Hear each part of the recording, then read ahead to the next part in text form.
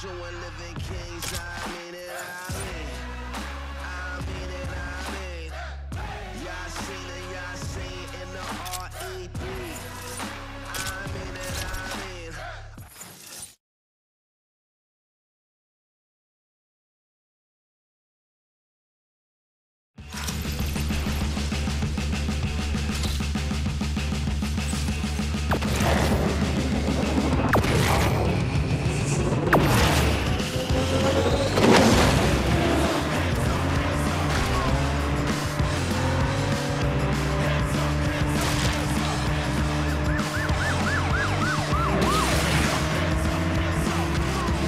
Thank you.